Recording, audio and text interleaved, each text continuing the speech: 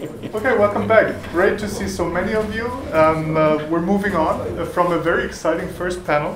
Um, I think uh, some of the strategic questions will come up again. Um, also, the, the question of uh, are these differences in degree? Can we really think of a spectrum of liberal democracies? Is there a typology or, a, or varieties of democracies? Maybe that's something we can uh, try and answer or begin to answer when we're looking at different case uh, studies. And what we're basically doing is very geographical and very complementary. Uh, we're taking off in the east of Europe, and uh, Elena Stavrevska is going to give a talk about, um, well, candidate states and certain structural similarities. She's going to draw on the examples of Hungary and Macedonia to think through, uh, well, the dangers uh, of, uh, of uh, liberal democracy. Elena is a postdoc here at BCB Unfortunately for us, she's going to leave us. Fortunately for her, she's going to go to uh, the University of Notre, uh, Notre Dame. She's a um, peace and uh, conflict studies uh, expert, and uh, she will start out with the uh, first presentation. Let me nonetheless go on and quickly delineate our itinerary that we're moving on to the south of Europe, and John Hopkin from the LSE, from the Department of Government, will uh, talk about, um, will put a focus on South, will give us a sneak preview of what is going to become his book that he's currently writing. Uh, the title will be Anti-System Politics. The subtitle isn't quite clear yet, so maybe we can influence it uh, if we ask good questions. Illiberal democracy. Perhaps illiberal democracy. and then we're going to fly on from the south of Europe to the north of Europe and take a comparison, which Christian is going to do. Christian Lammert from the Freie Universität, from the John F. Kennedy Institute, and compare the US case to the European case. Um, and uh, Christian is the director of the um, John. Kennedy Institute, and he also heads the Department of Politics at, uh, at Freie Universität.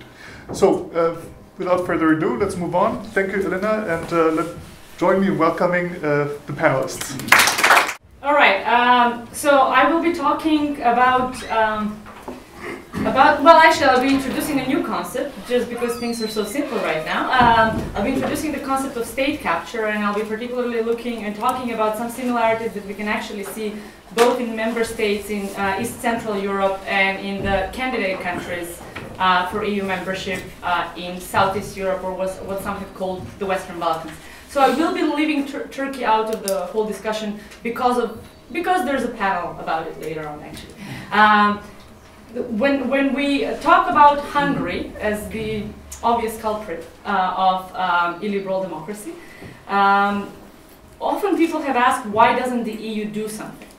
It is, after all, a country that is a member of the EU, and actually it undermines EU's uh, influence and um, ability to, to conduct certain foreign policy, among other things. Um, so the EU enlargement has long been praised uh, as the most effective tool for democracy promotion, starting from Greece, Spain, and Portugal in the 80s, but particularly with the uh, particularly with uh, the enlargement towards the east, including the 10 uh, member states that joined in 2004 and 2007, those being the Baltic countries plus the four Visegrad countries, um, uh, Czech Republic, Slovakia. Um, Hungary and Poland, and then Bulgaria and Romania as well, uh, plus Slovenia. So um, this is something that some would argue EU scholars have made even careers around, uh, the conditionality and the power of this conditionality that the EU holds. Um, it has been argued that that conditionality works as long as there's three conditions that are fulfilled. One is that uh, membership seems like an attractive reward for the necessary reforms. The second is that those reforms come at a relatively low domestic political cost, uh, and that the membership is actually a credible option. What we have seen in the last 10 years, both in those countries that have joined and in the candidate countries, is that this conditionality not only doesn't no longer works for the candidate countries, but it can actually be reversed once inside. Um, geographically what I'm talking about. When I talk about the candidate countries here, I talk about those that already have candidate uh, status, those being Serbia, Montenegro, Macedonia, and Albania, and uh, the two countries uh, aiming towards uh, becoming candidates and then one day members, Bosnia and Kosovo. Um, so I, my first, the first argument that I make on which I build the, the, the later arguments is that we actually see similarities in what some have called backsliding of democracy, what others have called new authoritarianism. Um, what here, and well, not just here, but it has been termed also illiberal democracy in both member states and candidate countries, and that there are similarities in how this um, how this occurs. Um, so the similarity lies in something that um, has, in political science, has been um, called state capture. And I'm introducing this term because I'm trying to uh, problematize this whole idea that there's only one type of illiberal democracy or one type of um, democracy um, for that matter.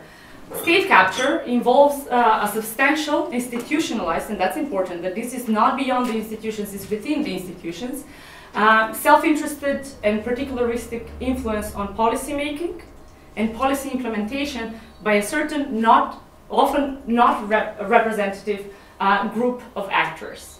So in Hungary, this is not just Orban, even though we call, we, we tend to identify the regime with one person, uh, but it is the whole network of people who are not necessarily Fidesz members, party members, uh, but are people who have gotten not only rich, but have managed to also influence policy inside the country. The similar case was uh, in Macedonia during um, uh, Gruevski's regime, so state capture is, um, is not, it's important not to confuse it with corruption. Corruption is the potential, one of the outcomes, but state capture is actually by design, and uh, it is, it is uh, all of these changes are actually done in a constitutional manner. So when we try to dismiss Hungary as not a democracy, let's not forget that the changes in the uh, constitutional court, the changes of the constitution for that matter, the changes in the electoral system were all done constitutionally. They're not outside the system, they're part of the system. Part of it is, what Bela Greskovits has argued, is because of the way the system was designed in the first place. So it is hollow inside, on which I can elaborate later on uh, more. Um, and this is where it runs contrary to liberal democracy in particular, and what uh, Robert Dahl has um, referred to as polyarchy, whereby policies are usually shaped, or they are assumed to be shaped, by multiple different actors who don't speak in one voice necessarily. And this is where we also run into this uh, contention of liberalism with state capture uh, as such. Um, two things are also important. Um, one is that this is often paired with restricted freedom of media. This is not necessarily done through um, imprisoning journalists or uh, threatening journalists even, uh, but actually it is done through the functioning of the market and the purchase of independent media by those who are close to the regime. So the silencing of, uh, of opposition voices is done in a manner that is not necessarily unconstitutional. Um, and a second thing is that this occurs usually in societies with low trust in institutions. This is something that Ivan Krastev has long highlighted, um, that now, now we see this in the West as well, but for, for, for decades we have seen this in um, post-communist societies, where the trust in institutions and in the state are very low. Um, state capture runs on this complex uh, system of uh, clientelistic system by employing um, people in public institutions, by employing members, um, in everything where the state has influence. Um, therefore, helping those citizens uh, cope with the uncertainty and the anxiety that comes with the system as, as is. This is something that we have to consider when we, when we, when we talk about illiberal democracies. Where does it come from and how does it run? How, how is it sustained? Because even without the changes, it has been argued that even without the changes in the constitution and without the changes in the electoral system uh, in Hungary, Viktor Orban and Fidesz would have still won in the latest, and with a, major, a large majority, in the latest um, elections. Because when faced with the question of whether you will keep your job or you can choose whom to vote for, you will rather choose the first one, particularly, as I said, in this society where for decades there has been such a low level of trust. So the legitimacy of this of these regimes, of both regimes um, that I talk about as, as, examples, but this is not only the case in Hungary and Macedonia, but we also see it in Czech Republic now. Um, we see it in Poland, evidently. We see it to a certain extent in Bulgaria, um, Romania in the past, not so much anymore, um, Serbia, Kosovo, Montenegro, and so on. So one aspect of the, this legitimacy comes from what I already said, promise for economic growth. Never mind the fact that um, a recent study has shown that without the EU funds, the economic growth in Hungary will be very, very minimal. Nevertheless, Orban has delivered on the promise of economic growth. Um, the second is defense of the nation. Whoever uh, the other might be.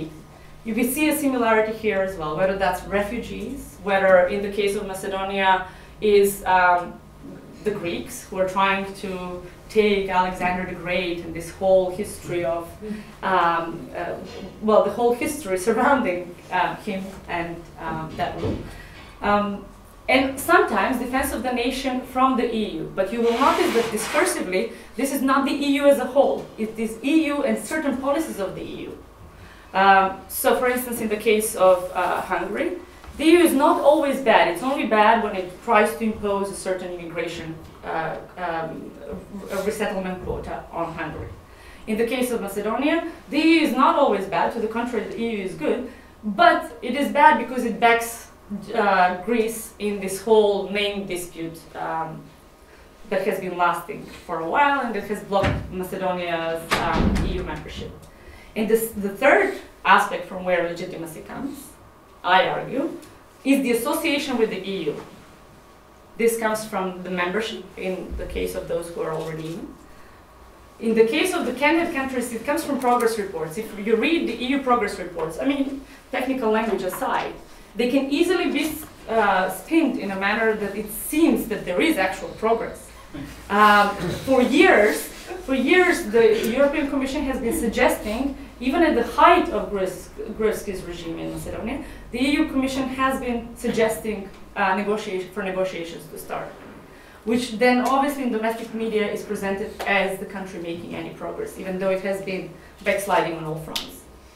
Uh, and the third aspect is funds. I already mentioned this in the case of Hungary, but it is not only um, the cohesion policy funds, it is also different funds that are available to, uh, uh, to candidate countries.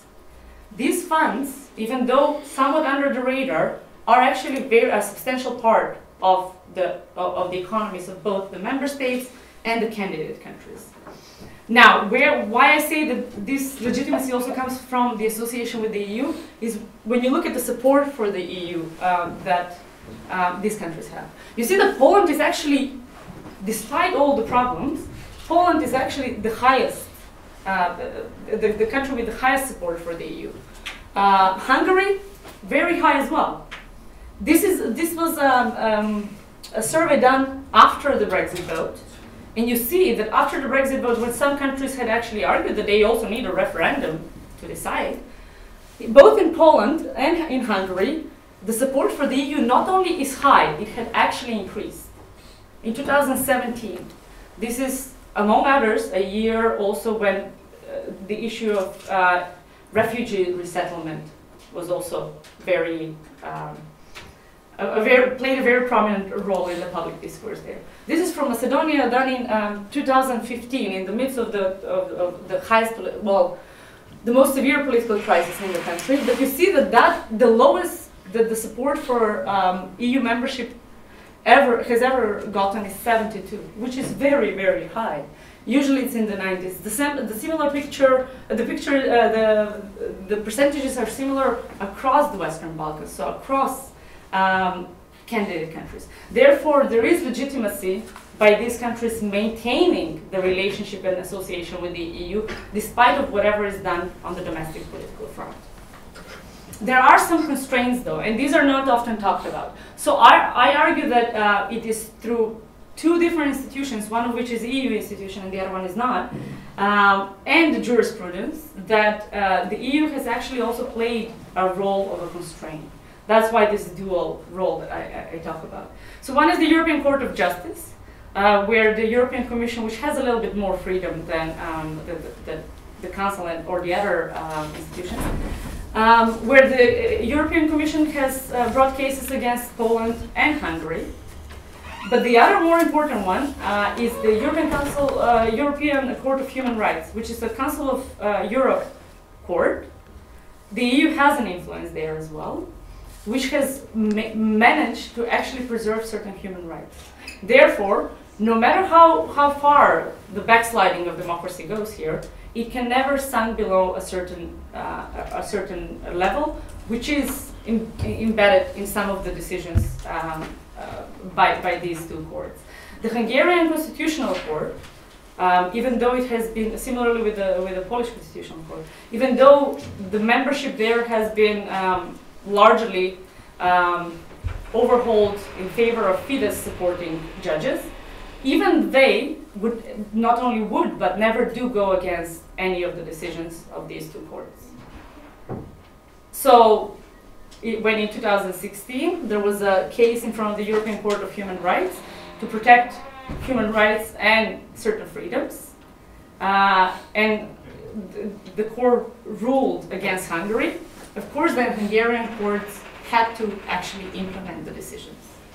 Um, again, this is something that usually actually is not much talked about in the political, um, in, in, the mainstream discourse anyways.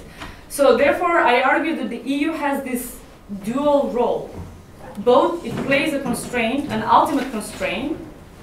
Um, the, the, European Court of Human Rights, by the way, uh, decisions are also implemented in um, candidate countries. So the EU plays a dual role whereby, on one hand, uh, it provides legitimacy for these uh, regimes to continue doing whatever they're doing.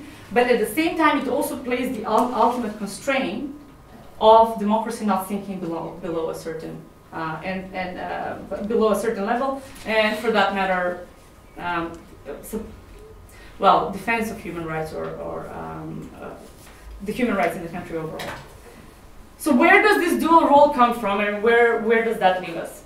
Uh, the dual role comes from the EU, EU's institutional setup. Um, one is the European Council or the Council of Ministers, which actually fears precedents quite a bit.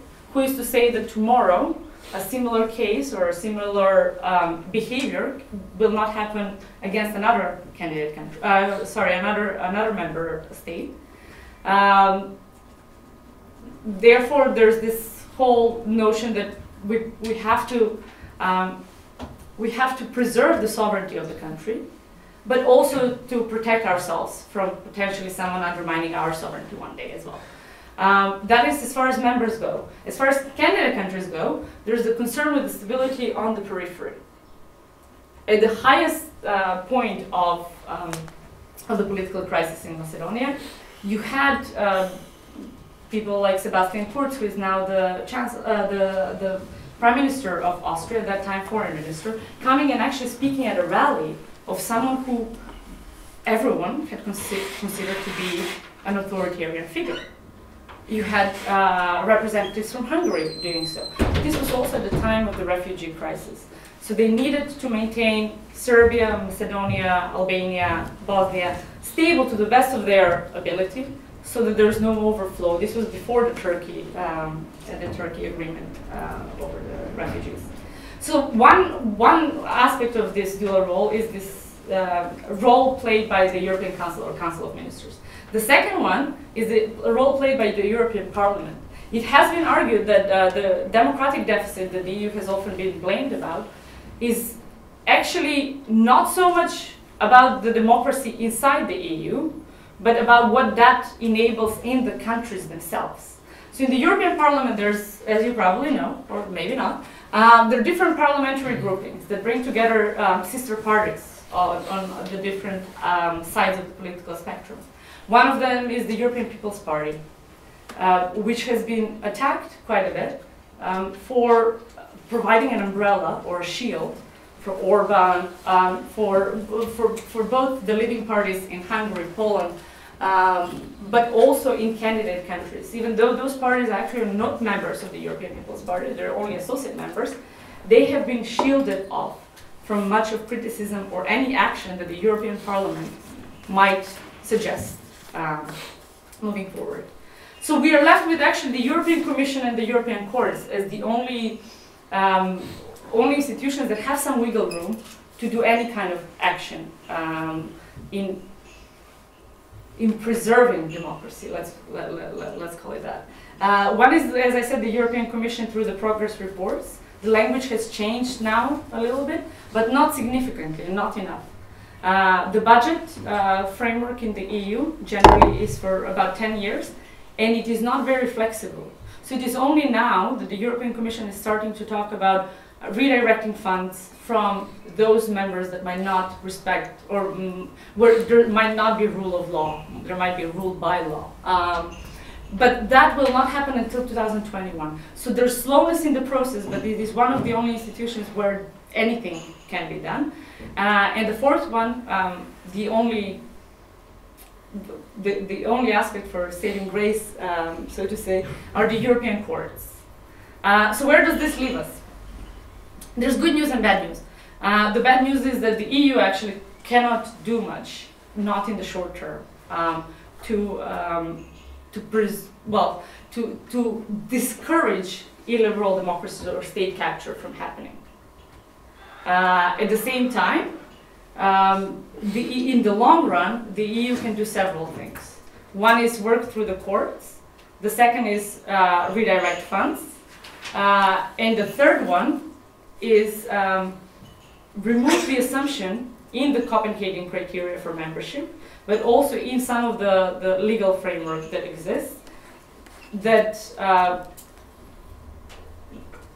the assumption that um, uh, certain democratic institutions by themselves are enough, uh, regardless of them actually being shell of institutions most of the time.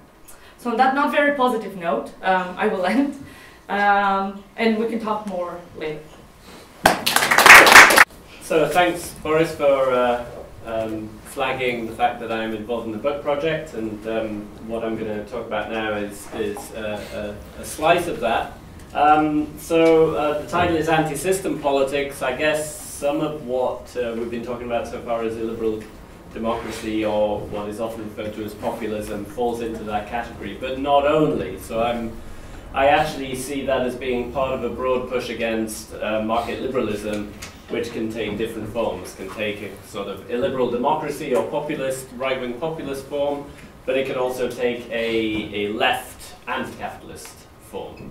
Um, and Southern Europe is the best example of that, of that latter form. So in a way, I mean, I hadn't really thought of this while preparing my talk, but in coming straight after, uh, looking at the case of some of the uh, newer democracies in East Central Europe. Uh, the Southern European case is kind of a really optimistic one because the, the, the uh, Southern European countries are, um, to a large extent, um, free of right-wing uh, illiberal parties. Not entirely, uh, but certainly Spain and Portugal um, don't have any uh, right-wing populist party unless you consider the mainstream conservative parties as being right-wing populist, and some people would make that argument. Um, but also even in Greece, where we have Golden Dawn, it is not the main story of party system change over the last 10 years, which is of course uh, Syriza, the, the left party. So, um, I have a few slides with some numbers. Um, I don't know if you'll find them useful, but First of all, uh, just to give a sense of what, what is actually going on when we look at the political changes over the last decade or so in, in, in the democracies, and I've put, I've put volatility data for Europe here largely because it's harder to find for a, for a bigger data set, up to date at least. Um, but what you can see there is that electoral instability, volatility is basically summing the uh, net changes in the vote between one election to the next for all of the political parties and you get a number which we call volatility or the Pedersen in index. Um, as, and as you can see over the kind of post-war uh, period, uh, in these kind of established democracies, it's kind of stable, slightly increasing until we get to the 2000s, um, uh, when it starts to rise more, uh, uh, more, more clearly, and in particular in the last decade or so after the 2008 financial crisis. And this is one of the themes of my book, is that I think a lot of what is going on is to do with um, the financial crisis in the short run, but also uh, the longer term process of liberalization that has affected all of these countries leading up to the financial crisis.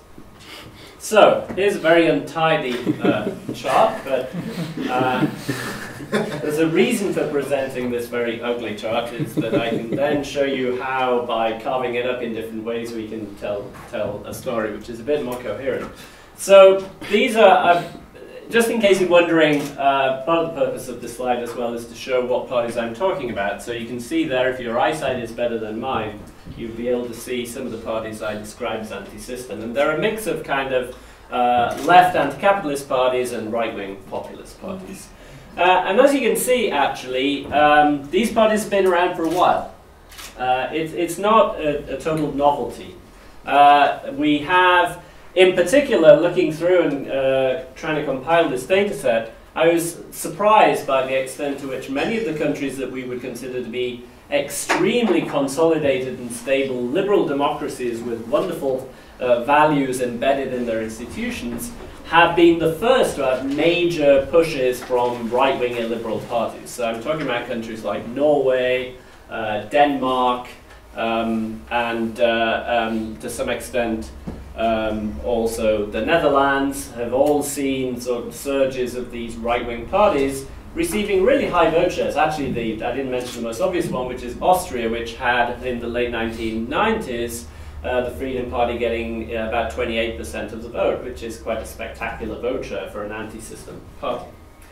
But if we sort of cut it down, so this is not a complete novelty. It's been going on for a while. There are large, and you could argue with how I categorize anti-system and we could have a debate about that if you're interested. But whichever way you you you carve it up, these parties have been around for a while, and um, um, the increase in the recent period actually uh, is largely driven by the increase in support for left anti-system parties, and in particular in Southern Europe. So this is what happens uh, for the Southern European section of, uh, of, uh, of that chart. And you can see that kind of parties on the left fringes of the party system have been stably getting, you know, between zero, you know, two or three and 10% of the vote in Southern Europe until the financial crisis, and then all of a sudden it, it explodes, and uh, uh, you have um, some parties have been around for, for, for a while, so the left Catalan party, for example, has been around for a while, Actually, that graph understates its increase in support because, of course, it only stands in Catalonia, and this is a national vote share. So I should probably um, change that because I would get a nice leap there too. uh, but the big shocks are the Five Stars movement in Italy, which I categorize as left, although I'm well aware that actually it's not obviously a left, but it's certainly not obviously a right-wing populist party either. Uh, and uh, the uh, uh, big jump in support for Podemos in Spain as well uh, is. Um, is a good example of this. The most spectacular one is Syriza in Greece, uh, which uh, from being a party with about, as you can see there, you know, less than 5% of the vote, it became the governing party and more or less completely uh, supplanted the PASOK, which was the kind of traditional social, socialist, social democratic party in Greece. So, uh, so what I've tried to do is carve up uh, these anti-system parties into a kind of left and right uh, left and right groupings.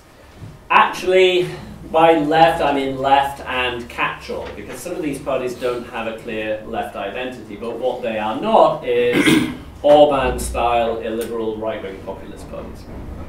And you can, you can see that the lines kind of follow each other uh, until the financial crisis, and then there's a much sharper increase in the anti-system left the financial crisis. And that makes all kinds of sense if you think about it, that um, you know, the impact of the financial crisis was particularly strong in uh, what I call broadly debtor countries, countries that were running uh, current account deficits over the period preceding the financial crisis and therefore were very uh, dependent on their creditors, countries like Germany, biggest creditor of them all when it comes to Europe, and uh, the squeeze placed on people's incomes after the uh, credit crunch has clearly caused a lot of pain and anguish and has been exploited in particular by parties on the anti-capitalist left who are appealing a variety of ways for uh, reductions in the amount of austerity that is enforced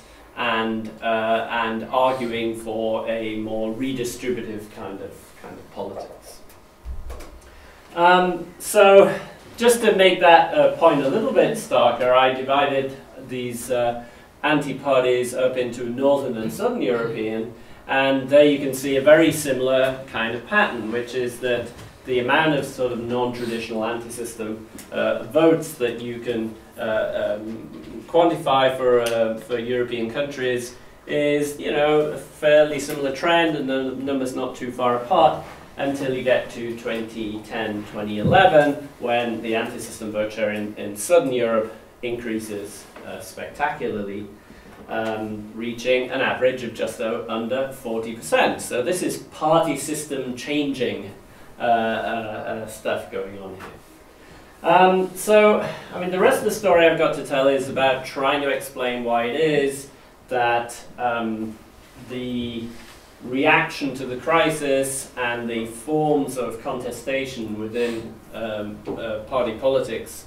in different democracies takes different forms. Um, given the content of the discussion so far, I'm not sure this is really what you're most interested in and whether you might be more interested really in the story about what uh, this implies for a liberal democracy and for liberal democracy. Um, so I think, how long do I have left? You can go ahead. I mean. Yeah, I, mean, I, I will try. And, so I will try and tell what is, what is uh, okay. So I have a kind of empirical story and a normative underpinning to it. So I mean, the empirical story, quite simply, is that uh, you uh, have different types of crises in countries with different uh, uh, positions on the creditor-debtor divide uh, and different types of welfare states. Mm -hmm. So um, there's nothing too earth-shatteringly new about this. Um, it's a good old two by two table. Comparative politics uh, was mentioned earlier as being defined by studying countries that are not your own, and it also involves extensive use of two by two tables in typologies. So this is old style uh, comparative politics.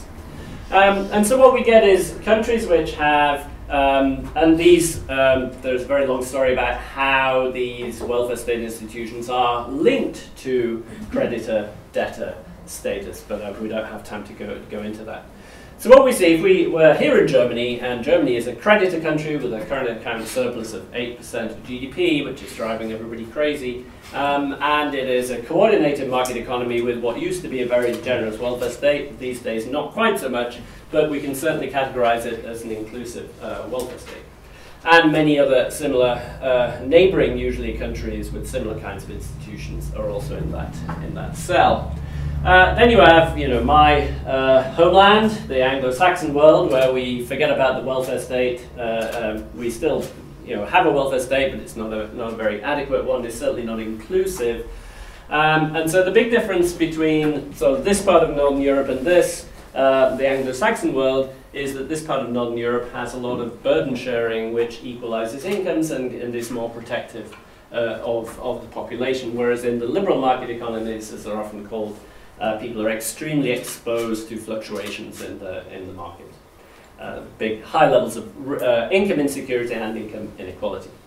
And then we have this other bunch of countries, forget about the residual welfare state with uh, creditor status. I don't know anything about Switzerland, it confuses me, and it's only one case. So. Uh, but this other cell here is this, uh, what we could call probably the, uh, the Southern European uh, model, which is uh, these are debtor countries, okay? They do not run current account surpluses, although they're trying to now, but it's extremely hard for them. In the period before the financial crisis, they were deeply exposed to international uh, financial um, uh, dynamics. Uh, but they also have particular kinds of inclusive welfare states. They have inclusive welfare states which are relatively protective of the population, much more so than in the Anglo-Saxon countries, but they do it in a much more uh, um, divisive way than in the uh, coordinated market economies hit. So what you get is very dualistic forms of welfare and dualistic types of labour market access. So what that means is that some people are relatively protected by the welfare state, and labour market regulation and other people are extremely exposed to the crisis. And here is the key to why it is that you're getting uh, different types of anti-system reaction in these different places. So I'm arguing that uh, in the inclusive creditor countries, uh, right-wing anti-immigrant parties have been particularly successful because these countries have systems of social protection that uh, work quite well and people want to keep. And they see uh, migration and the need to bail out uh, debtor countries in the Eurozone as being a threat to this uh, set of arrangements that they want to protect. Uh, in the in the Anglo-Saxon countries, we have both because everybody is exposed to the crisis. So whether you're you know you're uh, trying to protect your your status or you're angry about your low status, you have something to be angry about because we're all exposed to, to high levels of income inequality and insecurity. But in the Southern European case, what you get is quite interesting, which is that these countries are very exposed to the crisis. But the dualistic nature of their welfare institutions means that different groups are affected in different ways, and that the groups that are most exposed to the crisis are the younger part of the population, and even relatively highly educated younger part of the population. So this gives you some insights into what kind of electorate is available to be mobilized by anti-system forces. In these countries, uh, you can have older, less educated, of manual, the white working class as we now call it in, in, in debates in, in Britain and America anyway, um, relatively uneducated uh, people who feel they've lost status and lost protection from the, from the uh, vagaries of the market, and uh, therefore uh, they are vulnerable to a right-wing populist appeal because it chimes with their values. In the South, those kind of people are very well protected by the welfare state. They enjoy job tenure, they enjoy good pensions, and the costs of all these things are thrown onto the young who have no labour market access and no chance of getting a pension. Um, and these people are less likely to respond to a right-wing uh, anti-immigrant appeal because the younger people are often quite highly educated, and as a result, they're much more likely to respond uh, with, to an anti-capitalist appeal.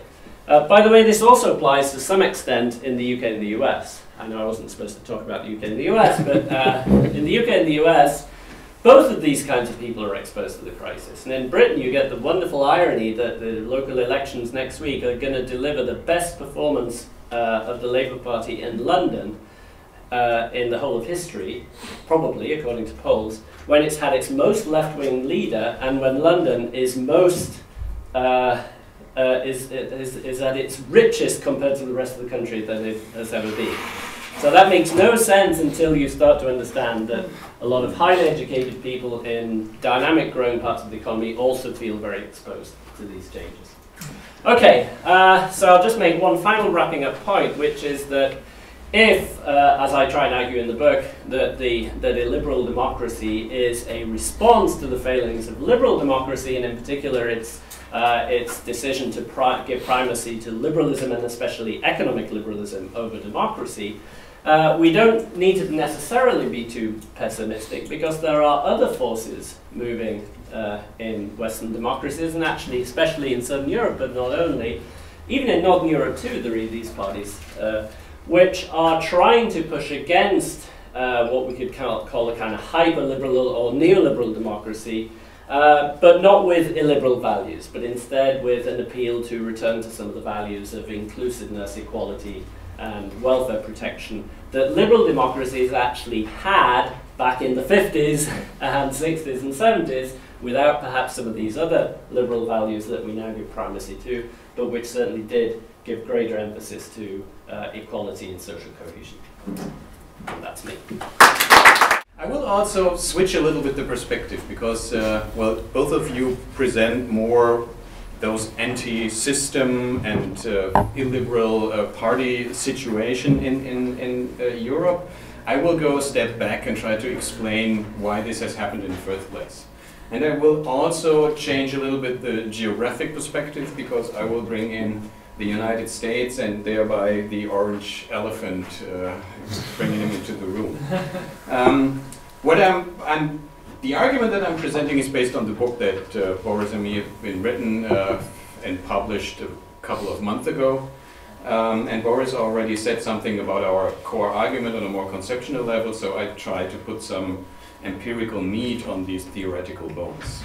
So what we try to do in a nutshell in our book is to think about some form of causal story that leads to phenomena like Brexit in the UK, the election of Trump in the US, and successes from those anti-system right-wing and left-wing populist party in nearly every part of European countries. Uh, if you look into the specific national debates that we have done right now here, um, on those problems, you find a lot of particular explanations in order to explain the success of populist movements and actors. And we do not doubt those different explanations are important, but what we tried is to integrate them into our study as well. So factors like race and racism in the United States, ideological polarization in the US, we didn't touch this problem so far, I guess that's also important. We see signs of uh, growing polarization in European countries as well.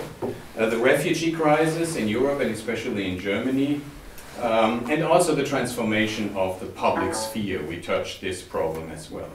But those particular explanation, and this was the, our starting point in writing the book, cannot explain why all those trends and developments have happened nearly at the same time in the last five, six years. Although you made clear that those anti-system parties have then been for a longer time. But I guess since the financial crisis 2008, there is a clear rise in all of those countries. So we were trying to find factors that explain, in a broader perspective, looking at North America and Europe, um, those uh, uh right-wing and anti-system parties. Um, so let me quickly articulate the central argument that we made in our book. Uh, unfortunately, the book is just out in, in German, so we hope to find a publisher that will translate it into English um, so that we have a broader audience. Uh, but if, if you're able to read German, you should buy the book for sure. because we have, we have a final a chapter um, where we say how we come out of this crisis. We will not talk about this because you should buy the book. Um, so our argument is that populism and illiberal tendencies in, in, in the North Atlantic region are not the cause of the crisis of governance, but its result. The crisis has been many decades in the making and is linked to the rise of certain type of political philosophy and practices that is extended across both sides of the Atlantic. This dominant political ideology or dogma has been marketization um, as the only possible and legitimate way of organizing societies in the context of globalization. The shift from responsive governmental institution to process processual and se semi-private government bodies has contributed to the depolitization of all things political. Populism in Europe and the United States is an expression of this imminent crisis of liberalism, uh, in which economic rationalities have hollowed out political values and have led to an impoverishment uh, of the political sphere. In my presentation, I will, because we have talked a lot about Europe, um, I will mainly focus on the United States. Um, because I think what we see in the United States is a radical way of this argument that we see, um, and we can also talk about why maybe it's not that intense in European countries. So what are the common factors that we see in the United States, but I guess in a lot of European countries as well? Declining popular participation in election and politics Weaknesses in the functioning of government. I guess that's what uh, um, yesterday was uh, framed as state capacities and decline in state capacities. Declining trust in institutions, dwindling appeal of mainstream representative parties, widening gap between political elites and electorates, and declining popular participation in elections. And, and I mentioned this at the beginning. So what has happened? And I think a look at opinion polls is very helpful here. Um, and what we see in all European countries and, and in the United States really in extreme way is a decline in trust. Um, and this is especially problematic for a representative democracy. Um, as a result of this massive decline in trust in government in the United States, it has, has declined since the 1960s from 68% at that time to about 20% just before the Trump election took place. And if you look at, at specific institutions in the United States, it's even worse. Um, Congress, for example, approval ratings were below 10%. At one time, it was even below North Korea. Um, so there you can see how unpopular specific institutions in the United States have been.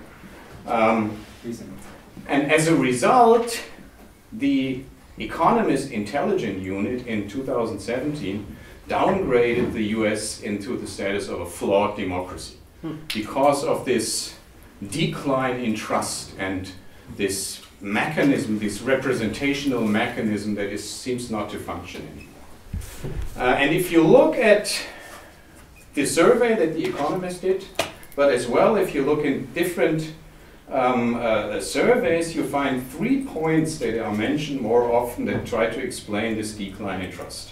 The first is growing inequality. The second is declining social mobility. And the third one is the influence of money and corporatist interest in politics. That's the three factors that are mentioned most often in all those, even by people. That's the list that they make uh, what they are not satisfied with. Um, and those factors can easily be, be, supported by empirical evidence. We talked about Piketty. Um, he really gave us uh, the empirical data to see what has happened uh, with inequality, especially in the United States. Um, and the interesting part is you mentioned that he has this, um, the rate of return of capital investment is higher than, than GDP. Um, it's interesting because I would criticize him in this way. This seems to be some kind of natural law, as if there is a market that produces this outcome. Because if you look at inequality, it was higher, very high at the beginning of the 20th century, then it went down massively. Paul Krugman called it the Great Compression, and then starting in the 80s, it was went up again uh, to, to degrees that we have seen in those glory 20s. Uh, and I guess there you can see, and this argument is also in his book, but not that uh, strong, it's about how the state uh, regulates the market, how uh, the taxation of capital and labor income is divided. And what we have seen in recent years since the 1970s is that uh, tax rates on capital went down, whereas tax rates on labor went up. So it's clear that you see these kind of developments that he described with his argument. But there's another dimension, and there I want to bring in another author um, that I think is very important, and this is Martin Gilens. Because he showed clearly for the United States that this, in his book, Affluence and Influence, that this inequality in income translates into an in inequality in political influence. That means what he did in, on an empirical basis, and that's the interesting part, he looked at what kind of interests, or let, let, let, me frame it in a different way. He looked at the interests of the lower income groups, the interests of the middle income groups, so-called middle class, and the top 1%. And this argument has been in a perfect democracy, there's a linear correlation between it. That means the more people want change, the higher the, the, the, the, probability of chance, uh, change is. And what he finds is that this fits perfect to the 1%. If they want change, they get policy change. But this connection doesn't work anymore for the middle class and the lower income groups. If they want change, the government is not reacting anymore. And that's a problem for a democratic system that I try to explain with this. The formal institutions, the electoral connections is still there, but the interests, those who are hurt in the political process, are just the 1% and the huge corporations.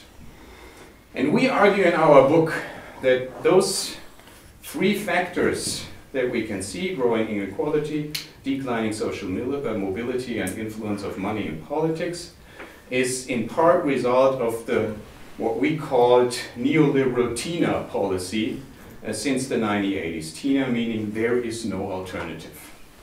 Um, and this is a policy that you find on the left and on the right.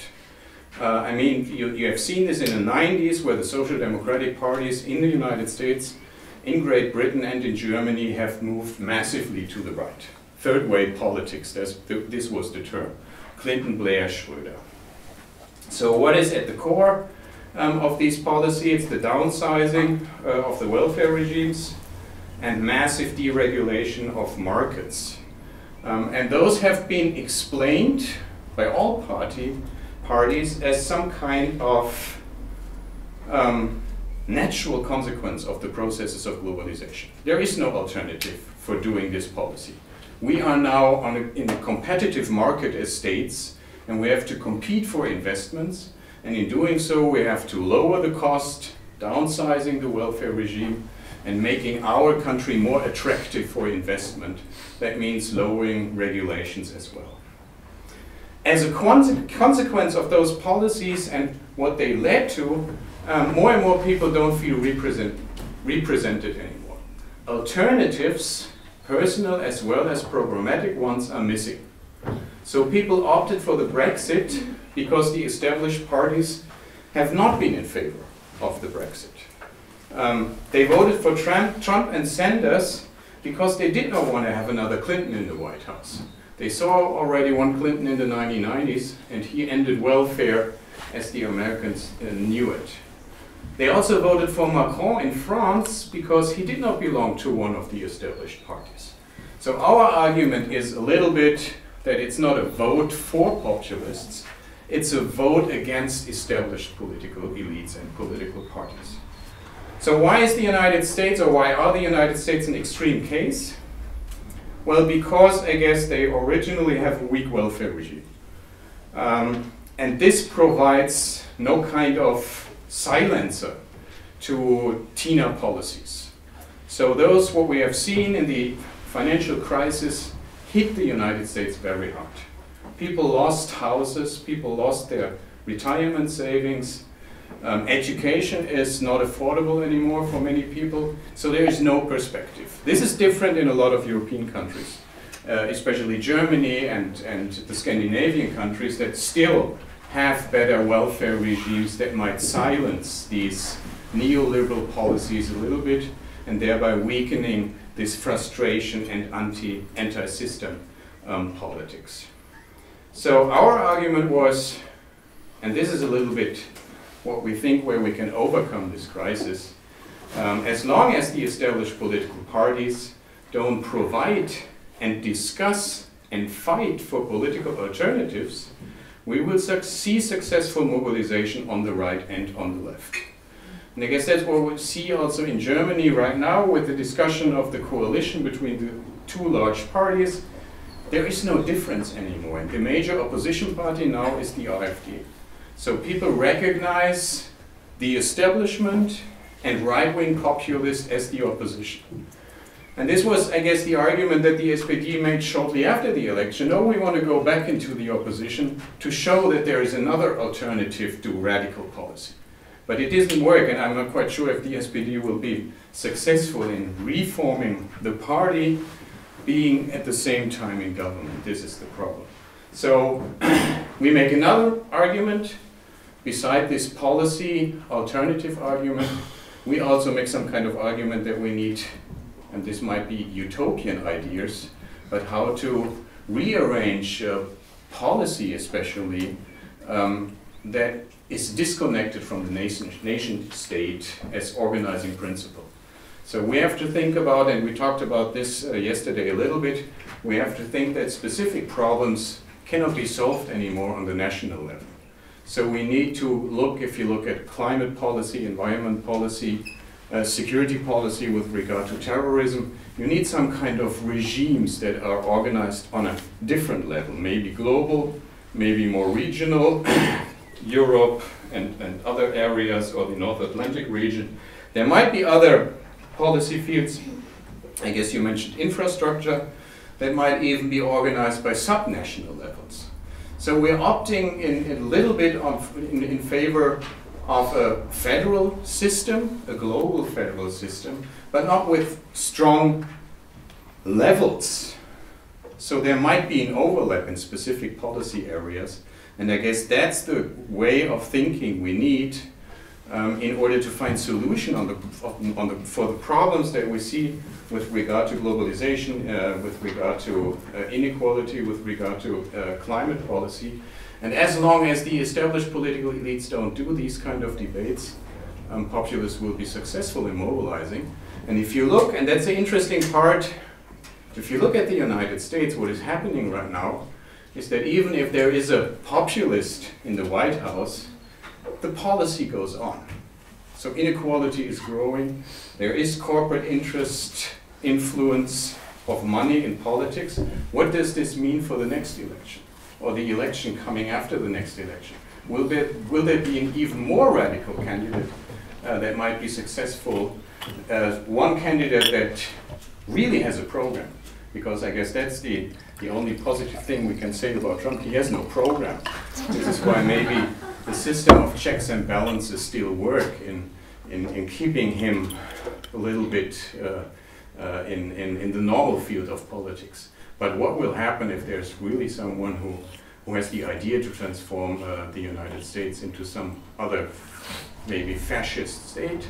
Um, I guess people getting more and more frustrated will maybe opt uh, voting for such a candidate. And that's the main problem that we see in, in our book. Okay, thank you very much. We have half an hour, and I think it would make sense, rather than for us to keep on discussing among ourselves, to open the floor directly, also more time, um, and take direct questions. Uh, and uh, also in the sake, uh, for the sake of the broader discussion we're having, uh, to have everybody on board as fast as possible. So um, let's take um, three questions. Uh, Christine Landfried, and then we take the two of you, yeah, Matthias, and uh, Catherine. Let's take four. Okay, that's not too many. So, uh, I wanted uh, just to a question for the last talk uh, of uh, Christian Lammert.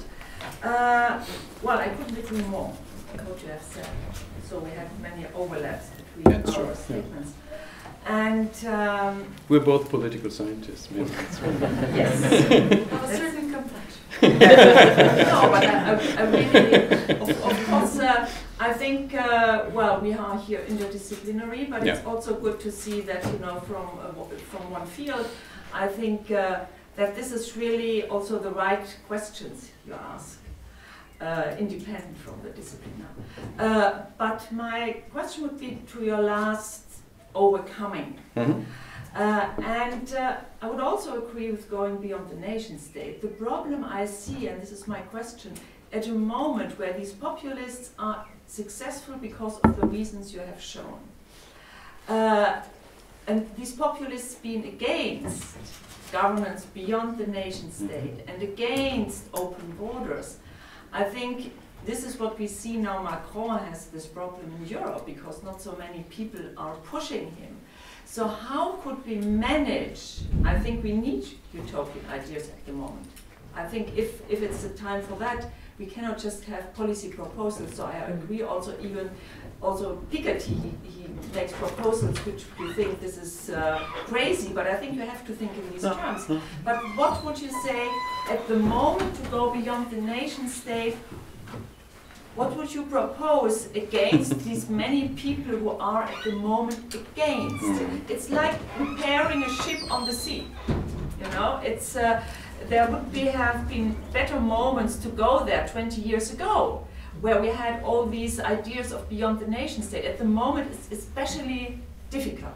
So, what would be your answer? I was Ganzen, ne? Yeah, yeah. I can, I can think about an answer.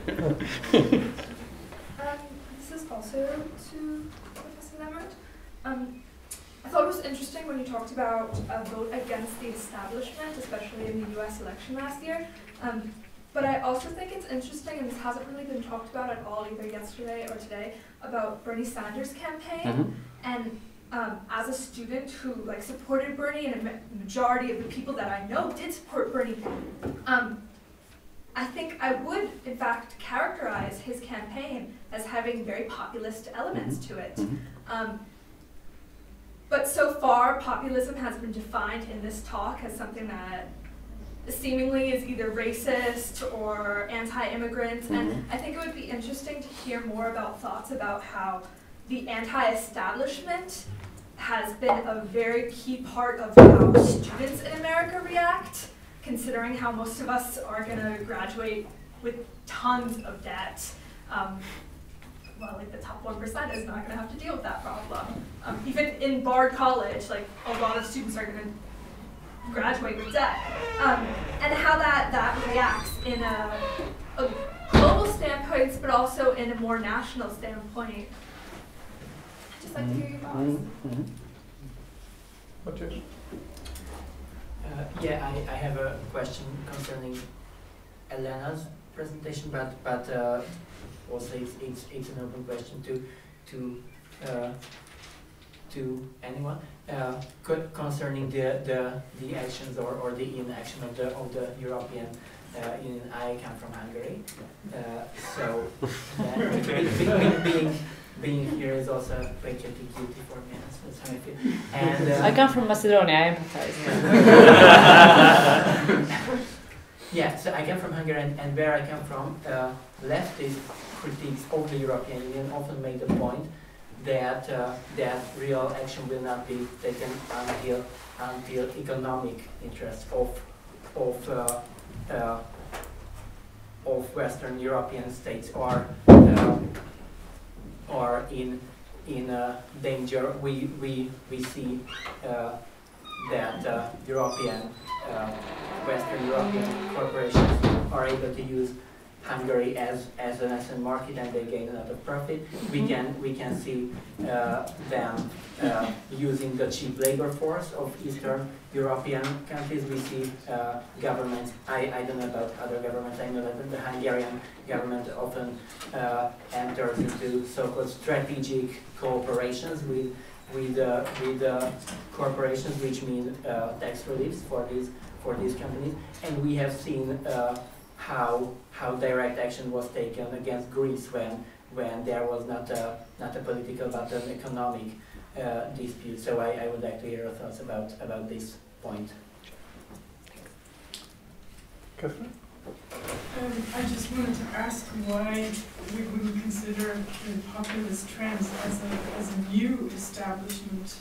Uh, you know, in some ways, of course, going back to an old establishment, as, uh, uh, uh, as Jonathan Hopkins pointed out, um, because it seems to be the case that what we're looking at is a, um, a further pushing forward of neoliberal economic reforms, so-called, uh, with the sort of discursive cover of the anti-immigration, racist, and so on.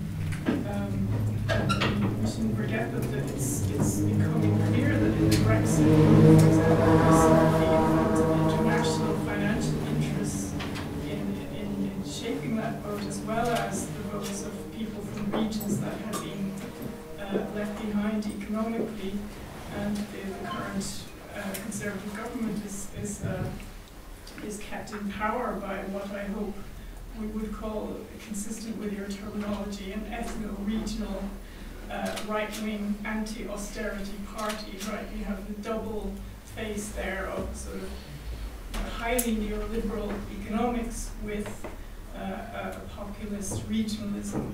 Uh, and I just wonder why we are not considering that a new establishment, a new political elite, because it's actually continuing the neoliberalism of the 1990s in actual fact, although discursively it's, um, it looks like something different, and it's obviously doing that for strategic reasons. Okay. Let's take them in the order of appearance. Oh, okay. I'm starting with the most uh, difficult uh, uh, question: how, how to overcome this in a situation where we see this racism and xenophobic and this reorientation on the nation state. Um, I mean, it, this is something that cannot happen from today to tomorrow. So there is no switch that we can do, and then everything will be fine again. That's that's clear. Uh, it, it will be a, a fight that has to be uh, uh, fought in in the public sphere and. Right now, this is, and this is what I would criticize in, in the first place, what is missing right now. What we see in, in the German uh, debate right now, what the Bavarian uh, Christian party is doing is trying to be more populist than, than the populists. Uh, and trying to fight populism in a way to take over their arguments. That's not the right way to do it. Um, you have to fight those ideas. That's what democracy is about. Um, and we have to go into the discussions uh, with those right wing populists. I mean, there are books out right now how to talk to populists. Uh, I guess it's not that difficult to talk to them because we have other ideas and we can present those ideas and we can refute what they argue. Um, and the second thing that makes me more optimistic that this is possible, that I think it's still a minority opinion uh, that those people represent. Even if you look at Trump, okay, he has won uh, the presidential election. First of all, I would make the argument he's not a populist. He is, I don't know what he is. He is, he is he. That's, that, I guess that's his whole program. Um, but he, but because of being nothing, uh, populist forces were able to get into the, the White House with their ideas. But if you look who, who voted for Trump uh, in the general election, I guess it, it's 28 percent. The rest voted for Hillary or didn't show up at the polls. Even in the primaries uh, in the Republican Party, just 9% of those who could participate in the primaries voted for Donald Trump. And I would make the argument that's a minority. And in the United States, it's because of the specifics of the political system, the electoral college, and so on, and also because of Hillary Clinton that he was able to, um, uh, to win this election. So I think what we see in, in the United States right now with this massive mobilization, the Women's March, the student protests, although they are just focused on gun violence, I guess it's a broader movement that we see there. So civil society reacts to those forces. And this is something that we need to see here in Europe as well. And I guess then um, we will see that this is just a minority position. That's, that's my hope. So we have to fight it, and we have to realize that those populists are not in a majority. Um, the second question Sanders is a wonderful example um, that supports our thesis that uh, the election results in, in the United States was anti establishment. I mean, that was interesting if you take both candidates. I mean, Trump is the perfect establishment, but he was able to present himself as an outsider. Even Bernie Sanders is, belongs to the establishment. He was in the Senate for how many years? But he was, I mean, he's caucusing with the Democrats. He, he describes himself as an independent, and he ran a campaign as an independent uh, in, in the primary in the United States. And this is why he was success, so successful. Uh, and there are some studies that make the argument that he would have been successful in, in winning against Trump. So there seems to be more of a left-wing populist appeal in the United States than a right-wing populist. Uh, and, and this is, a, if you look into the history of the United States, I mean, there is nearly no tradition of right-wing populism. Uh, when we see uh, populism in the, in the United States, it, it's pro- it has been progressive. Hmm. So what we see right now is, is a strange phenomenon uh, and I guess it just can be explained with this uh, being dissatisfied with the political elites. And, and this was something, I mean, we discussed this uh, writing the book, but also with our students. If you imagine, because people were always asking after Trump was elected, how can someone vote for Trump? And then I'm always make the argument just imagine you lost your house in the financial crisis. You lost your retirement savings in the financial crisis. You know that you never can afford a good education for your children because it's so expensive. And then you see that the banks are being bailed out, Wall Street is doing fine, and inequality is going up. And even under the Obama administration, there was, I mean, I think that the election of Obama was in, in the same kind of election. He was successful because he made the same kind of arguments. Change we can believe in. Yes, we can. And he didn't deliver for most of the people. So they are frustrated. They see Clintons coming into the White House, they see Bushes coming into the White House, and nothing changes their economic situation. So let's try with Trump. And now they will be disappointed as well. Um, so I guess there is there you can find reasons. I mean, uh, you you record this. Um, I will not say that there are good reasons to vote for Trump. Uh, that's not my point. Uh, but I can understand that they don't want to vote for Hillary Clinton.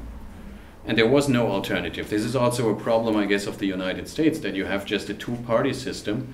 You have always these horse races. In the United, uh, in, in Germany, in a multi multi-party system, like Germany, like like France, there is a chance to get this protest into the political system as a minority party, And this is what we have seen in Germany of the last 20 years. Most of those parties disappeared after one term in office in, in parliament because everyone realizes they have no idea, they, there is no alternative that they represent, so they will be voted out of office next election. I'm not quite sure if this will happen with the AfD. If you look at public opinion polls right now, they are going up, not down. But I guess that's also because of the coalition policy um, and, and problems of the established political parties don't providing alternatives. So now I stop and leave. I mean, one of the things that's looming also here is that there's not just there doesn't just seem to be a geographical variety of uh, crises or illiberal democracies, but the crisis itself might be metamorphosing over time. And so I wonder if we have to think about this temporal register also when we're when we're trying to categorize. Mm. Elena. Um, good question. Thank you. Um, Yes, so I focused only on the EU institutions and basically answering the question of why doesn't the EU do something? One, because it can't, and B, because it's not necessarily within its the interest of the different components of the EU. Um, I agree absolutely with what you said, and that is the case uh, with corporations and businesses generally having an interest, not uh, not just um, in terms of lower costs, but also in terms of being able to deal with the government, knowing, uh, knowing who, whom to turn to, and that is one group. So it's not dealing with different actors, but rather dealing with one particular actor. Uh, this is something that it's not just in Hungary, as you said, so it's in quite a few member states um, and in the candidate countries. So this whole periphery, uh, when I refer to the periphery, I didn't necessarily talk about the periphery of the EU, the periphery within the EU as well. Um, and um, I agree with you that I mean I don't know whether that is that was what, what you were arguing, but it is definitely true that uh, a stable, this whole idea of a stable government, it is within the, the, the corporation's interest. Which you know, democracy is not necessarily. It's a bit messy. Sure, it's pluralistic, but it is a bit messy. Um, so I'm not sure that the influence is necessarily done through the EU, uh, but there is uh, it, it, it, they definitely do provide the support for, for this kind of um, systems to continue. Among other things, by actually providing uh, employment for quite a few people who actually vote for those, uh, for those parties. Um, so I'm not sure whether that is something that is EU related. I think it's something that is, um, broadly speaking, the economic system in Europe um, related how EU is uh, how the, European system of periphery and core functions. Um, so again, um, I don't think it's within the interest of quite a few uh, uh, governments, but it's also not something that necessarily the EU can address. Jonathan, you want to respond? To yeah, there's a couple of things. First, the point about um, your question was kind of is populism so bad and, and it depends on how you define populism and i'm not really that happy with the jan werner muller kind of approach i mean i think that's an interesting phenomenon he captures and he defines very well but i don't think that's what's i mean there's obviously an anti-elite anti-establishment dimension to a lot of these movements but they there's something they have in common. They're all pretty much asking to curb capitalism in one way or another, even if it's just putting up borders to stop so many migrants coming through, right? Even that is a form of protecting society from things which, you know, partly it's to do with refugee crisis, all about war, obviously, but most migration is economically driven. So these are market dynamics. Mm. And when you're talking about the consequences of the financial crisis, people ending up with terrible debts, losing their savings, and so on and so on, this is, you know, straight out of the 20s and 30s, right? It's, it's financial markets destroying people's livelihoods and they're appealing for somebody to take control. So this phrase, this marvelous phrase of the Brexit campaign, take back control. I mean, I hate the people who are saying this, but uh, the but yes, I think we should take back control, not in the way they want, and not from the things that they're worried about necessarily, but but people feel nobody's in charge, right? They feel that the, there's a whole load of things going on in the world that they have no control over.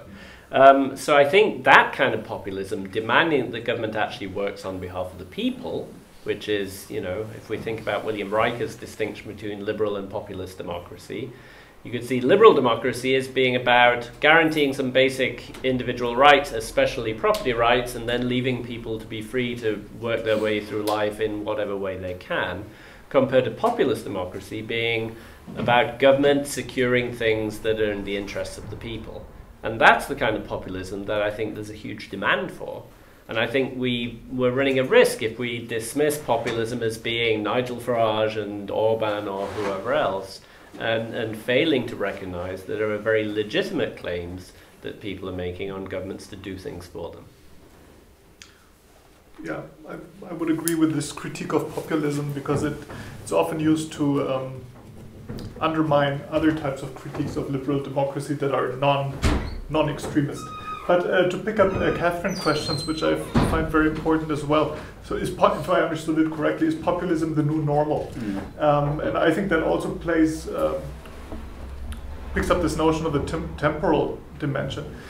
In part, I would agree. It's a discursive question. It's a rhetorical question because if you look at Trump, or at the U.S. context at least, uh, yes, there has been a hyper liberalization, hyper privatization when it comes to domestic issues uh, in the environmental sector, in finance, um, in education. At least there have been attempts. Um, towards the international realm, I think it's not just a question of discursive. Uh, this wasn't what I was asking. Yeah. I mean, my question is whether instead we should understand this phenomenon as uh, you know, people keep talking about the political elites and so on as a sort of takeover by the economic elites of the state, right? And then the use of these discursive sort of slanders against various parts of the population to make it seem as if they're also catering towards the working class constituency or Absolutely. working class constituency. And we have a sort of double movement going on. Yeah. So I mean, I, I, appreciate these comments about, you know, uh, talking to populists and, and we should hold the social democratic parties responsible or, or even the conservative uh, parties responsible for their complicity with these rhetorics and so on. But I'm wondering whether, in fact, uh, you know, I mean, Elena was pointing some of this out in her talk, there's a, an organized complicity between the some of the established parties in Europe and some of these more extreme figures, uh, you know, in, in right-wing movements across Europe. And we might need to think about the reasons why that's structurally occurring and why it structurally was possible for somebody like Trump, who, I mean, regardless of anything he actually says, is a, pure, a figure of purely economic significance, right? He's moved into the political arena uh, and he is you know, relentlessly pursuing the economic interests of people at his level of, uh, of wealth, right? And that this, um, you know, I mean, it's a very complicated issue how this is actually happening. But the reason I'm mentioning the example of Britain is because there we, we honestly we don't even yet have the full picture of how that exactly happened in the case of Brexit. We have we're hearing things about the influence of Saudi Arabia, about you know financial uh, sorts of uh, you know um, attempts to to, in, to to shape the way the vote operated through technology and through newspaper ads in the right places at the right time and so on. And this very concerted effort to push things in the direction of further abolition of any sort of regulation of labor rights markets that the EU provides, right? Um, and you have a government in Britain that's, that uh, has people in it who, who favor that kind of economics, uh, but they're also, you know, interestingly at the moment supported by an extreme right-wing anti-austerity party. They're keeping themselves in power through the support of a group like that. And I think it sort of sums up, in a way, the double movement we're seeing. On the one hand, very wealthy people, very powerful international economic interests wanting to get rid of what some of us would regard as the fairly minimal sorts of protections that an entity like the EU offers. And then on the other hand, uh, you know, sort of people at the lower income level who've been, who've been disadvantaged in various ways have been pointed out, and they're being appealed to on the very traditional, uh, with very traditional strategy, scapegoating. It's the fault of the immigrants, it's the fault of whoever. Uh, so, so it's a kind of two-pronged sort of tendency we're seeing And it just seems that there's a lot of evidence to suggest that this is this is the way the new establishment is operating, even where it doesn't, even where the main political party doesn't explicitly present itself as populist. It, there's often some kind of investment in or complicity with this with this structure. Um, I'm sorry I've been on too long, but we're basically, I, I'm basically challenging this idea that somehow there's a political elite and an establishment that has failed and has, you know, uh, needs to kind of get get itself organized again and get itself uh, invested again in, in real people's concerns because we're dealing with such a structurally powerful phenomenon that that seems like it seems to me like a very moralistic sort of uh, uh, kind of um, you know, an ethical argument that obviously makes sense, but it just can't possibly be adequate to face what's happening. Well, I, I, then I wouldn't call it new establishment because that's been, I mean, that's been ongoing for four or five decades. That there has been a strong interrelationship between economic and, and, and political interests.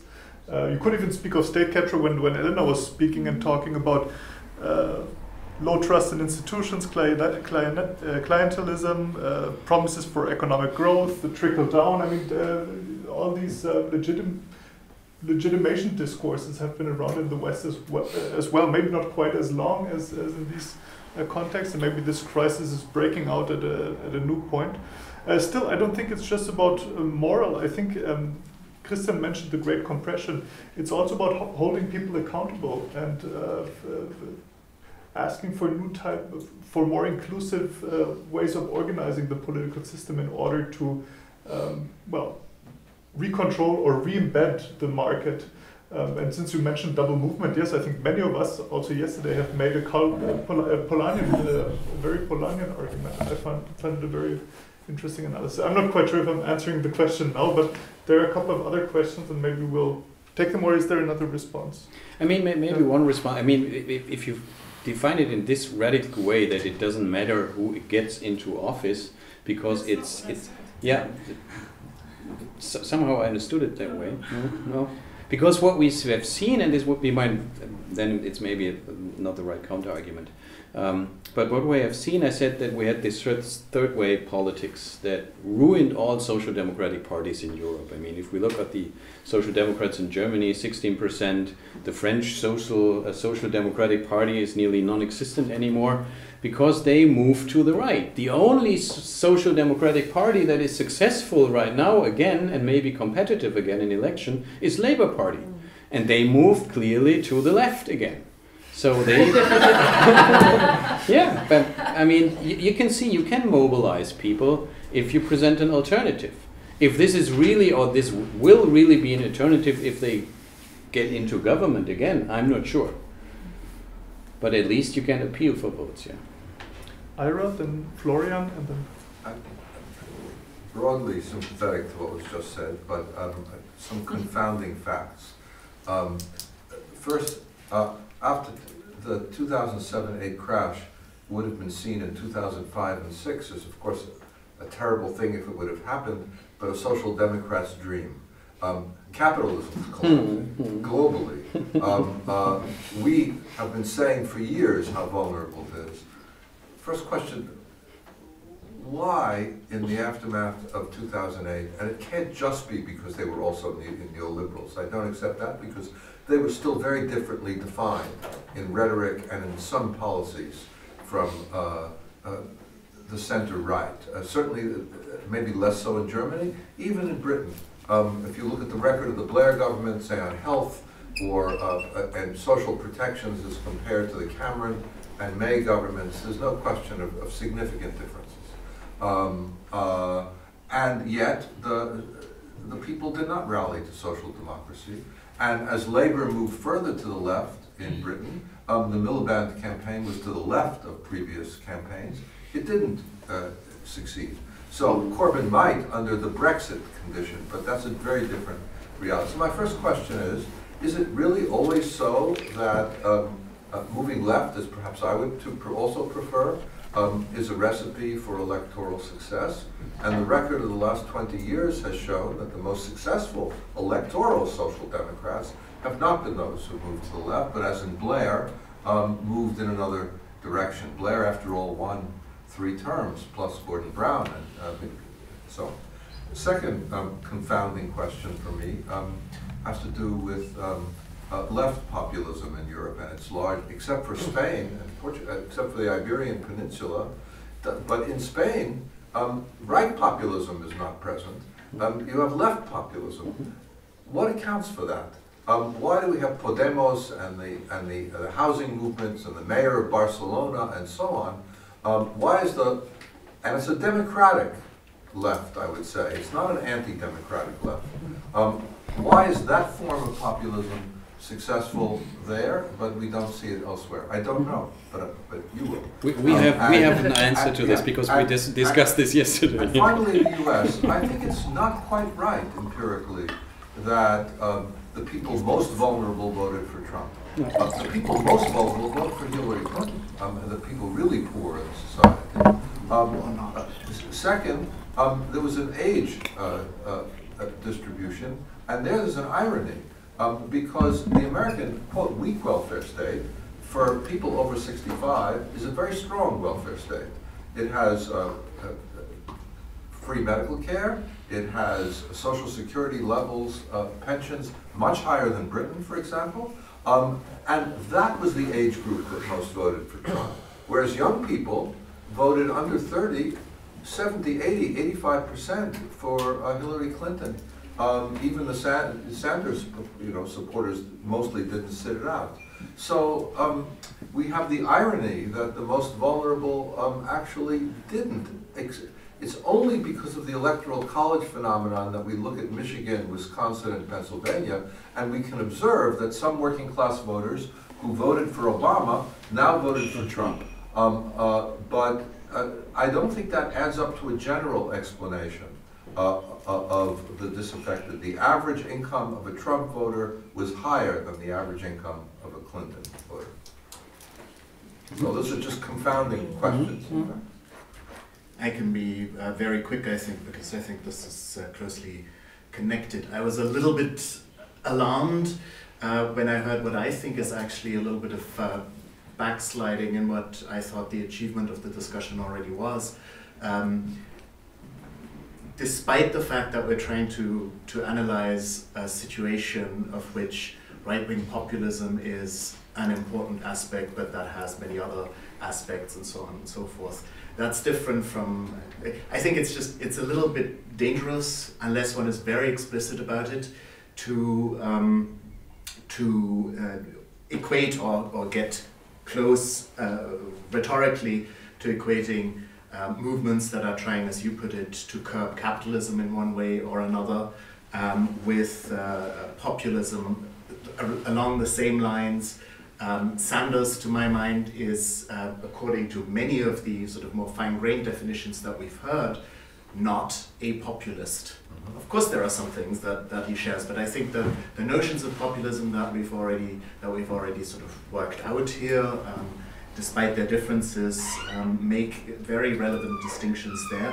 Um, that was sort of the analytical point, which I think um, is is, uh, is is not against uh, substantively any of the arguments that I that I heard.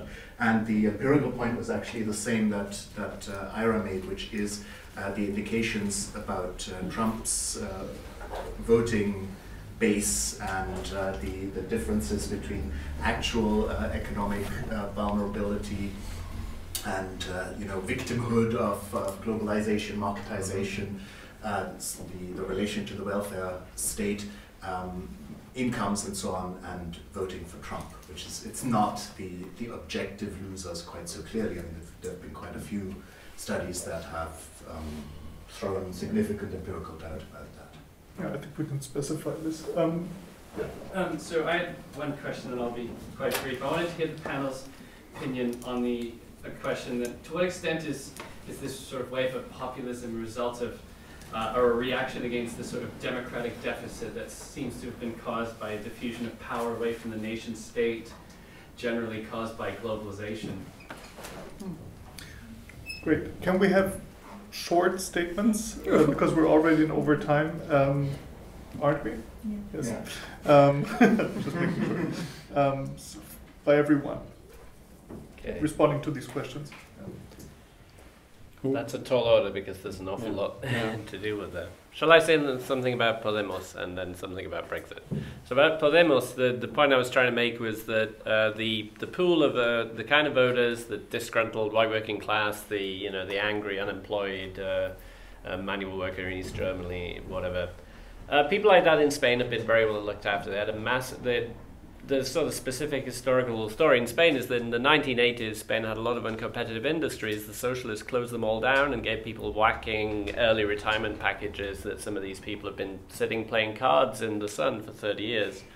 And so they have no real reason to be angry. The people who have reason to be angry, angry are those who are under 30 who are facing unemployment rates of 50, 60%. If you go to London, you feel like you're in Spain because anyone serving in a bar, if they're not Italian, they're Spanish. I mean, we, we have, you know, there seems to be millions of, uh, of them. And, and these are the people who, they're probably not even at home voting for Podemos. There's so, so, so this is the, there are different sets of victims of, of these changes in different countries, and that is driven by institutions, welfare institutions in particular. So that was kind of my story uh, uh, about, about Podemos. It doesn't work perfectly, of course, because Italy in some respects has a similar picture, but they do have a right-wing populist party in the Northern League. But even there, it was originally directed against the Italian state and its corruption and the North-South divide and so on. And, and one thing we did talk about the other night um, with with uh, with Boris and Christian was this idea that what seems to be characteristic of the Southern Europeans is that they it's hard to have a nationalist chauvinist movement when you don't believe in your own state. so they have much higher levels of trust in European institutions than in their own national states. And and I think this is this is an important dimension. It really weakens the case for a kind of AfD type party. You know, in Greece, the Golden Dawn are literally a Nazi party. They get six, seven percent. Syriza, of course, takes over the state and increasingly, i- immediately starts increasing public employment and, and getting jobs for people. So this is the where the way it's gone. Just very briefly on Brexit, I think Catherine's points were, were really important of that. I think there is something going on whereby there is this kind of dynamic in the pro-capitalist elite not all pro-capitalists are liberals, right? I mean, a lot of them are reactionary racists. I mean, we see examples of this uh, from Trump's set of advisors, right? Um, so even people in the tech sector, you know, it doesn't mean that they're liberals. So, so what they certainly do want is to hang on to a, a system, an economic system that makes people like that them richer and richer at everybody else's expense. And if the way of doing that is pushing globalization, fine. If the thing turns and suddenly you realize that a large part of the population really hate this stuff, then why not go with you know national chauvinism. That that plays well politically. So brexit was not a mass movement. It was a movement driven by by money. We don't really know exactly where where it came from but a lot of it from kind of very speculative finance capital uh, you know revolving around the city of london. So so i think you know somebody should go and do that history because i think it's really important. So maybe I can uh, try to answer two of the, the, the other broader question. Uh, the Trump voter, for sure, there is there you, you cannot just explain voting for Trump with income, um, but there is a lot of studies that show that income mattered. Um, but it's also about the fear of losing its social status. So even if you are in the middle class and you think there's a policy done that will harm me in the future, um, this was also one of the motivations for uh, voting for Trump. So this is also an economic argument. Even if you don't, if you have income that belongs to the middle class, but you expect to have less in 10 years, you, you're in fear of losing what you have already gained. This is problematic for you. Um, older people voting for Trump, I mean, for sure they have social security, but there are also a lot of private investment uh, accumulated during their time, and they lost this um, eh, during the financial crisis, what they saved privately. Um, and this is also one of the problems uh, that frustrated them and maybe made maybe a motive uh, for voting for Trump. You have that also racism. For sure, this is also a factor. I, I, I don't want to say that racism is not a factor for specific groups in voting for Trump. It was also a reaction to the Obama administration. Um, it was also a reaction in part that the other candidate was a woman. Woman. um, this, this was some kind of so, chauvinistic element in voting for Trump. So it's, it's, you, you never can, can have some monocausal explanation of why the people voted for Trump. But I guess this economic argument, um, uh, at least from our perspective, still makes sense. And the most vulnerable people don't show up at the polls anymore. This is I mean, the bottom income um, segment uh, is, is not voting anymore. Um, this is what all studies show. That the higher the income, the, the higher the participation rate in elections and in other forms of political participation. This is also a problem. Um, the, the second question was uh, going to the left means voting election, uh, winning, winning elections. Um, what I said with uh, going to the left is more that we need in a democratic system alternatives. That, that, that was the main motive for making the argument social democrats should move to the, to the left again, to distinguish themselves from uh, being just one of the mainstream parties that fight in the middle um, for a voter group that maybe was large 20 years ago but with the polarization of the voting group, I guess it, might make sense maybe to move more in, in the direction of right and left in order to mobilize. So there is not the automatic relationship moving to the uh, left means winning election. But maybe there is a chance to get more because of polarization, uh, more voters. And the point is to, to, to present an alternative. The American Political Science Association, I guess in the, in the 1950s, published uh, a task force making the argument we have no democracy in the United States because it doesn't matter if there is a Democrat on, on the ballot or a Republican, there's no difference according to programs and whatever. Nowadays, the same APSA makes the argument we are so polarized, it's not a democracy anymore. so it seems to be somewhere in between that we need enough alternative, but it's got to not too broad alternatives. Um, yeah, I leave it there. So I'll answer the question about um, the democratic deficit. Um, whether populism is a response to the democratic deficit of uh, some of the international institutions. I don't think it's so much a response to the democratic deficit as it is a response to the crisis of representative democracy, which was mentioned um, already by the panel. But also it's a response to um, largely to what I, what I suggested that in some parts of, of Europe has been present for a, a long time and now we see it in the West as well um, the low trust in institutions. That in and of itself is not democratic deficit. It's just the lack of trust in institutions. Be, be those international or national, it doesn't necessarily matter. So populism, in, I think, both on both sides of the spectrum, um, do come uh, does come in a form of a response to a particular type of crisis as far as uh, political system is concerned, which is the crisis of representative democracy.